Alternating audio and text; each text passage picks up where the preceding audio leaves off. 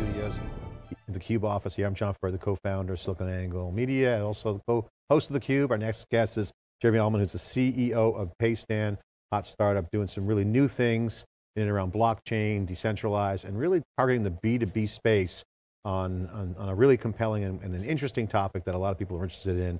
Jeremy, welcome to this CUBE conversation. Awesome, thank you, John. Hey, so talk a little about the company and set the table for us, Paystand, uh, what you guys are doing, why you were founded, and what's the disruptive uh, enabler you guys are, are taking, uh, mm. what's the angle of your, of your business? Yeah, sure. So, so Paystand, like you mentioned, is a B2B software platform um, specifically focused on payment. So you can imagine what uh, PayPal or Venmo does from the consumer level, we do for complicated commercial transactions between accounts receivable and accounts payable departments that normally would be paying with paper checks and a manual process. So basically, accounting, ledger, I'm kind of guessing, nice fit for blockchain. Correct, yeah, yeah. So what we do is we apply blockchain technology to help a company speed up their time to cash, mm -hmm. automate their business process, and dramatically lower their transaction costs. I'll get your thoughts on this. I interviewed Don Tapscott at an event, and we were riffing on this notion of the, the nature of the firm, right? Mm -hmm. um, people would come to an office, you'd have accounting, all these things yep. that you'd have to put in place as systems. Yep. Now with this decentralized world we're living in, internet, and with blockchain in particular, yep. and a cryptocurrency market that's pretty frothy, but you know, you look at blockchain and you separate those two for a minute, you really can look at ways to change how work is organized. Mm. How do you guys view that? What do you, I mean, it's obviously a new big wave coming. Then you got businesses who are just trying to operate and make yeah. money, right? Yeah. So keep, keep the lights on, but they also have to start rethinking about the future. So what is this block wave, blockchain wave coming? How do you talk about that? Is it that disruptive? I mean, certainly centralized databases aren't going away anytime soon, but yeah. it's coming. What's your thoughts and reaction to that? It's coming. You know, I think it's, um, it will affect the, the enterprise, which is where we spend our time and space, in, in a lot of ways like cloud did, right? Um, so I've spent probably 15 years doing unsexy B2B tech in some way, shape, or form. And what we've seen is digital transformation in the enterprise has happened um, in, in, a few key areas. CRM is now in the cloud, right? You have companies like Salesforce that have become significant. Uh, ERP is now in the cloud. Your financial software uh, is now automated, right? Um, kind of ironically, the last mile piece, the part that lubricates the business, the core of the business, the money movement piece, is actually still really, really manual. So you have humans that sit around and they take an invoice and then a paper check and then they move it. Um, and, and, that process is very, very inefficient. Um, and so uh, having a more automatic, smart financial system can improve the business's life in really significant ways. Also, you know, one of the things we've been commenting on, opining here on theCUBE is, uh, I made a statement a couple weeks ago, oh, MarTech you know, marketing technology uh, wave, all those logos on those uh, landscape slides. Didn't really pan out because the cloud kind of mm, changes that, yeah. and it's panning out, but not the way people thought. FinTech, financial tech is also certainly important. Banks, obviously trading, you see that. What is the inhibitor for um, these new trends? Because you mentioned moving paper around. I mean, it's money. They probably don't want to mess with an mm. operational system yeah. that's core to their business. Is it, is it fear? Is it tech? Both? What's, what's your view on um, why it's taking so long, or is it moving along at a speed you think is going to uh, uh, be adopted? Yeah, it's actually kind of a unique point in time right now. Um, I, I, think, on one hand, financial services in general, part of their job is to manage risk, right? Um, and so, so they're going to be a, a, a, lagging, in some ways, industry. Um, and so, digital transformation, right? The internet has opened up and democratized media. It's opened up so many other areas. Um, blockchain now is, is the entry point for digital transformation in financial services. And so the time is, is probably right right now. Um, we've been in this space. We started the company in 2014. Um, and you know, I, have said, I'd seen over the last three years, hearing banks, other large institutions, large enterprises go from um, skepticism to curiosity, right? What's the technology stack look like? Obviously, four years is like uh, decades in this in the blockchain world. And mm -hmm. obviously, people are running as fast as they can. It's kind of a moving train at many levels, yeah. the business model side as well as the tech stack. Um, and this is really the opportunity. A lot of these systems, I mean, some of the e-commerce systems are 20-year-old tech stacks. Some are even older. Yeah, um, yeah, Just going back four years since you were founded, what's the big moving glacier, if you will, of, of change, and how are you guys managing that, and how how should people think about managing the risk of the tech stack? Yeah, I mean, I think, you know, on the blockchain specific side, um, in the early days, a lot of it was about currency um, and actual payment, right? I think what we're seeing now is the opportunity for blockchain, particularly in the enterprise, uh, to actually dramatically improve their operation side, right? So um, Ethereum, private blockchains uh, actually have the ability to um, not just decentralize how money movement or networks operate, but how uh, an internal system operates. I'll give you an example. Um, uh, we use the blockchain to a private blockchain to actually control approval workflow. So when a payment goes out, um, oftentimes you need a uh, your accounts payable person to send a payment out, but the controller or the treasury or someone else has to sign off on it, mm-hmm. right? So that signature, you need it to be valid, trusted, the identity around it, right? Um, and you want an audit record. Um, and so blockchain is a really, really good use case for something like that. That's, that's not pure play payments. It's not pure play settlement. It doesn't require um, you know, a million people to get on. It just can operate in the business in a really critical function in a better way than the current technology does. It's interesting. I love these new technology opportunities because you, know, there's always going to be a tipping point, and, and, the famous Steve Jobs quote is, "Hey, if I was asked to build a better phone uh, in 2005, I would have built built an excellent, better BlackBerry." But he then he built the iPhone, so he thought differently. No one was really asking for the iPhone. The question I get a lot from skeptics in blockchain is, no one's really asking for blockchain. Mm. So again, this is kind of like you could always say, I'm building a better centralized database system in a distributed computing environment. Okay, we've done that. Yeah. Are people asking for blockchain or are they just asking for it in a different way? What's your thoughts to that? Yeah, I, I would say that there's, there's a, a, big picture question of are people asking for it? And I, would say society is actually asking for it. Um, uh, part of my personal story is, um, you know, my family, blue collar family, they, uh, my mother's side immigrated here, um, her generation, you know, and my bricklayer father, they spent their entire lives getting their first home, okay? And um, you know, 800 square foot home. It was nothing special, but it was their American dream. Uh, in, in 2008, uh, in the financial crisis, they lost that house. And, and so I think you know, society said financial services and core parts of our economy actually could, we could do better, right? Um, and I think the magic thing about technology is we get to imagine the world not as it is, but as it ought to be. So, so one, I think society is actually asking for, can the core parts of our economy actually do better? Can we dream up something better?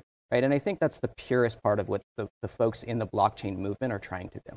That, that's you know at a very high level. And then I think practically, right, for, for businesses like we operate day in and day out, um, you know, if there's technology that am- allows them to be able to operate their business more efficiently, um, drop their costs, and grow faster, um, you know, how that works, right? Um, it's in some ways like cloud. How does cloud work? Uh, you know, I think now we're really getting into the deep mess of it. Yeah. But um, you know, cloud was transformative to the business, right? VoIP was transformative to some businesses. Um, you know, inbound marketing is transformative to some businesses. Blockchain is the same kind of concept. I mean, and cloud too. With, there's a lot of naysayers. I remember I used the first EC2 instances of Amazon when it came out. Being an entrepreneur, like, oh my, this I don't have to provision servers. This is amazing. I can put my credit card down, pay a few bucks, and then even still, up until I would say even three or four years ago, they were dismissed as relevant. Yeah. And again, the rest is history. Look what they've done. So there's always going to be those naysayers. But to the point about cloud and blockchain and say even crypto, this is a wave. And we've, you know, we're very bullish on this movement because we see the waves coming way out there and it's huge. And it's probably bigger than um, the other waves combined in our opinion. So you mentioned societal change. This is a big deal. I mean, you're seeing regulations right now in GDPR in Europe kind of trying to govern an old database market that's even an own problem. It's a, it's a mess, yeah. database wise, but it yeah. makes sense from a, from a, a society standpoint. People want to pull their data out. This is a trend. You got societal forces yep. and then technical legacy. I mean, this could be an opportunity for blockchain to saying, hey, optimize for the new wave, don't Correct. try to retrofit, say, an old wave. What's your thoughts? Correct. Yeah, I mean, I, I think there's a, a, a, number of areas, um, even on the data side with society take um, an Enron scandal, right, that happened uh, a decade plus ago. Um, out of that came regulation called Sarbanes-Oxley, mm-hmm. right? And Sarbanes-Oxley's concept, right, is to ensure that uh, companies publicly account for their records in the proper way, right? That there's an audit trail, that they don't sort of take their financial systems and, and mis- misrepresent them, right? Um, the blockchain, because it's a, a source of truth that's immutable, meaning it can't be changed, um, is a great way, right, to um, have more efficiency in that process. Uh, today, there's a whole industry that's popped up just for Sarbanes-Oxley, just to regulate the financial system, just to ensure that the, the books actually say what they're supposed to say, right? Um, that's kind of the definition of what a smart contract can and should do. This is the really opportunity for entrepreneurs, if you think about it. I mean, a lot of alpha entrepreneurs are, are really licking their chops on blockchain because they can see how it could disrupt industries. Yeah. And this is really, and I showed you some of the things we're working on, what we're thinking about with SiliconANGLE, um, about media and data. But you know, it brings up things that we obviously see every day in the press. The election weaponizing con uh, uh, content for bad things. Uh, Facebook's having a challenge right now on how they optimize their data for their own self-service reasons. Yeah. This is a problem. This is a mm-hmm. revolution. Yeah. People are, are kind of tired. So, what's your view of the of the of the role of data to the human? I mean, yeah. obviously, you know, the cliche, oh, the users are in charge, they should own their own data. Okay, I get that. Yeah. But how, how, is, how do you see that vision playing out? I mean, not just from a Facebook, just a social network example, but how does data impact a user going forward in your vision? Because they could really change from the outside in. Yeah, I mean, I think part of what's critical with data is um, two things. One, identity really matters, right? How do you ma manage identity? And so I think there's a number of really fascinating blockchain companies that are specifically focused on the identity question, right? And that's that's true around um, the social media side. It's true around how do I actually uh, manage where I move um, uh, identity around. Um, so I, I, think that's one side that's really, really critical to solve. I, I don't know that we've got a crystal ball yet on what it will ultimately look like, but the blockchain model for identity allows us to um, uh, rethink um, uh, the fabrics of what privacy is, what permission looks yeah. like, um, and what trust looks like with people I want to engage with and with yeah. people I don't want to engage with. Right? It's interesting, you talk about the blockchain culture being more societal and mission driven, my word, but you're kind of implying that. The, I remember when the cloud came out, it was the network guys were in charge and the app guys were like, have to feed off the network requirements. And then that sea change flipped around. The app guys are in charge, data is yeah. driving requirements the network. Question for you is, do you see a day soon where societal requirements will dictate technology? And you're seeing, mm. you're seeing that pattern kind of emerging now. It's kind of not yet been fully thought through in, in public commentary, but you know, we see the pressure points potentially impacting tech design. Yeah, yeah, I, I think there's actually a, a, good tug of war or balance, right? So, so entrepreneurs naturally are going to run as fast as they can to see innovation. Um, hopefully with, with, with means of uh, improving society, right? Um, and then, and then, you know, you have regulators and you have uh, government agencies who are looking and saying, okay, you might be thinking about one myopic view, and we need to make sure we're, we're looking at the good of society. And so I, I think that tug of war you saw with the internet, right, where how much do we regulate the internet, right? Um, mm. and, and, I think the balance was mo mostly healthy. Um, and, and we're sort of seeing that tr true today with blockchain as well, where um, you know things like ICOs have, have good and bad implications. Um, the regulators have been watching it relatively closely, um, but they also haven't completely came down and clamped down on it. You know, even this week, right? There's um, uh, there was a relative balance yeah. in the discussions that came they, out. SEC's done a good job. They've, Correct. They've, they whipped a few people in shape, send the signal, yep. but they weren't foreclosing any innovation. That's correct. And yeah. ICO certainly did some scams. What's the good sides of ICOs? Obviously the scams are out there. What's the good sides? The fundraising, democratization? What's your take on, on the ICO? Yeah. Initial coin offering uh, opportunity. You know, I think um, in some ways democratization has become such a buzzword, it's lost its meaning right? But, but if you think about what it really is, it's so powerful because it, it, it's this concept, right, that we distribute um, power and control to the hands of many.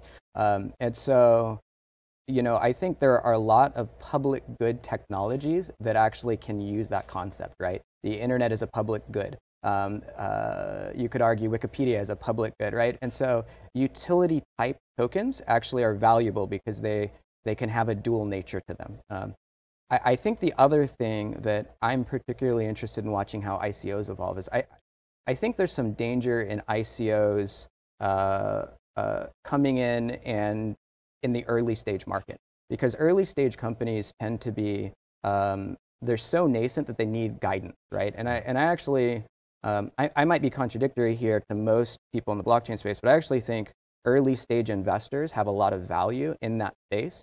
Um, and so I, I am actually fascinated about what happens in later stage rounds and what do ICOs yeah. become there. Um, so I think utility and later stage rounds are actually two fascinating areas of ICOs. That, Sharon, that's a great point. I would also say that the trend that we're seeing is there's an early stage component that needs mentoring and needs some uh, nurturing. I would agree with that. And that's a v, classic VC, maybe some token economics in there, but again, different playbook. Yep. The tokenization of business is really interesting because now Correct. you have token economics being applied to a pre-existing proven business Correct. with a disruptive nature on the other side Correct. is super interesting. So I have to ask you, are we going to have a chief economic officer uh, as, a, as a new role soon or is that going to be, because remember you think about token economics, it's yeah. about opening up and changing the distribution of or data and wealth. You could argue both are the same, but how do you view that? Because that's a trend we're seeing, the yeah. tokenization of a business to disrupt an industry incumbent set of incumbents. Correct. Yeah, and I think it's a it's it's really really early days, and what what you have really early stage companies that are thinking about tokenizing their business before they exist, right? And then you have other companies which are maybe um, past the innovation curve and they're trying to apply tokens to their business. Um, a pivot of, of an um, existing business. Yeah, so so we've seen these right public companies that have added blockchain yeah. to their name, right? I, I think the fascinating thing will become where fast growing real businesses where there's a there there, they've crossed the chasm, go, okay, how do we apply tokenization to our company? Um, and, ha- and how do we think about it from uh, both a commercial economic part of the business, and then how do we think about it from tokenizing the business? And, and we're, we haven't seen many cases yet, but I actually think that's one of the next waves we'll see. Great, great insight. I got to ask you on a personal level, you're doing some talking, obviously the founder of the company, CEO. What's going on? What are you talking about these days?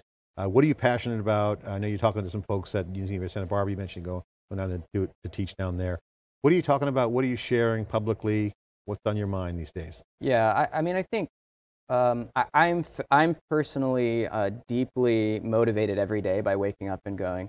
Um, you know, the financial service industry um, it can go through a massive transformation, right? Um, and and I think there's a lot of really good companies that are doing that at the consumer level. Um, and so, you know, I think our space, uh, we have a, a, unique place and time to be working at at the commercial level. So the commercial level uh, affects big parts of our economic infrastructures in ways that we don't think about, right? Uh, the Equifax breach was a pretty big deal to mm-hmm. people, right? Um, uh, the financial crisis was a big deal to people. So how do we imagine those kinds of industries, yeah. right? Supply chain, yeah. title, logistics, right? Um, and, and how do we think about those industries democratizing them with blockchain? Those to me are the unsung heroes of what blockchain will ultimately help transform society. It's interesting, you said you were kind of humble when you came on earlier. I'm in boring areas of B2B, but I got to say, to your point about cloud earlier, there's a calm before the storm. These boring areas that are, say, calm, are really the, the grounds where you see disruption. I think that's, that's an area, not just high frequency trading, that's going to be you know, always an issue, but in terms of real financial plumbing, yeah.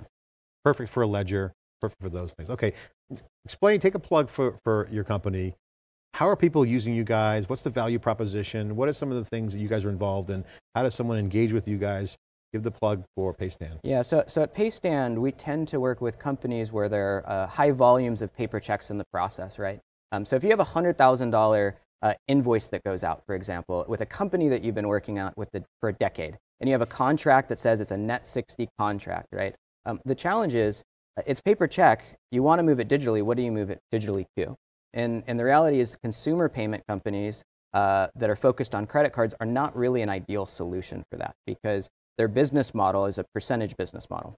And there's nothing wrong with a percentage business model um, that charges a company 2 or 3% if I'm swiping for a $5 cup of coffee, right? Um, if it's a $100,000 payment that uh, I, I owe someone that I know and I have a contract terms, I, am not going to pay the bank $3,000 to move ones and zeros from this bank database yeah. to this bank database, right? So what we do with our network is we make that money movement fast, instant, automatic, yeah. verified, validated, right, um, with control in a way where we can automate the process. It's so funny. What jumps in my mind is punch cards to computers, tape to storage. Yeah. This is interesting. So the paper checks, probably big. I don't know what the numbers are. You might have them handy. People are doing paper checks. So you're building a system around paper checks. Do I get that right? Yeah, so we'll, we digitize what, what would have been a paper check. Um, today, 50 per, over 50% of all commercial payments are still done in paper check. So they're gone in our digital world, right? Like you and I, we Venmo each other. Yeah. But when the business goes to write a check, when they get an invoice, they send out a check. And so we digitize the whole process. The moment that the invoice is ready to go to the moment it gets in the bank, it all becomes digital FaceTime. And the alternative is what? I got to go check when it was mailed. Was it received? Was it cash? Did it get put into the accounting system? And that's kind of That's correct. that's the manual. That's the manual. So they spend they'll spend a week tracking down the payment from the moment the, the controller says okay to pay to the time it sits Yeah. in their bank account. That's humans, time, money. An old antiquated system that doesn't change because of what? Well, it's it's it's Just it's le- legacy? legacy infrastructure in one way, but um, in another, you know, even the banking infrastructure, right? The most of the banking infrastructure that are for commercial payments was designed in the 60s and 70s. And, and last time I checked, the 60s and 70s was before the internet today. Yeah. So, so they weren't really designed for digital real-time payments, and they weren't designed for commercial use cases like today. Is fraud a factor? Is that not a factor? Is that part of it? Or yes? Yeah, I mean, I think a key thing with, with what we do, enterprise payments, is security is really, really important, right? Um, we take it very, very seriously.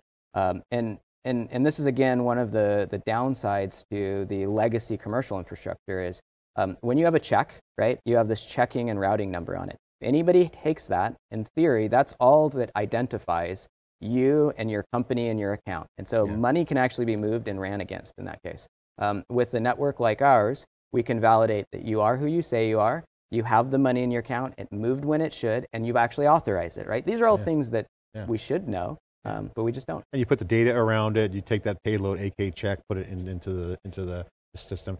Okay, so when does a company want should be calling you? Is it like I'm overloaded with paper? I want a new system. I'm doing a refresh. I mean, when do people call Paystand? What's the what's the signals that would give your buyers some indicator of uh, time to call Paystand? Yeah, so generally it's after, um, it's, it's when they have high volumes of checks and they're growing, um, and or that they've, um, they've, they've basically taken their ERP and they've done an ERP cloud migration, right? And Yeah. so um, now they've, they've got their general ledger and that financial system's not in a shoebox anymore, Yeah. right? It's, it's in a critical core ERP system. Um, and so what they're finding is they bought digital transformation for financial services and their accountant only sort of has half, half the solution, Yeah. right? And so they come in and they, they use us to close the last mile.